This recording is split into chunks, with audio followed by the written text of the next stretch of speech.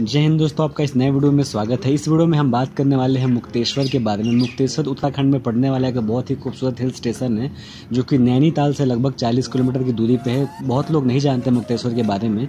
आ, ये आप यहाँ पे आ सकते हो हल्दी हल्द्वानी और काठ गोदाम से भी बस और टैक्सी वगैरह लेकर भी इजिली आप पहुँच सकते हो जो हल्द्वानी से लगभग साठ किलोमीटर की दूरी पर पड़ता है। अब बात करते हैं मुक्तेश्वर के होटल्स के बारे में। मुक्तेश्वर में आप स्टे कर सकते हो गोस्ट टॉप्स में। गोस्ट टॉप्स एक बहुत ही बढ़िया होटल चैन है, जो कि बहुत सारी मेजर सिटीज़ में अवेलेबल है लाइक दिल्ली, मुंबई, गोवा, और ऐसे बहुत सारी सिटीज़ में गोस्ट टॉप्स के होटल आपको मिल जाएँगे। मैं खुद भी विज़िट कर चुका हूँ।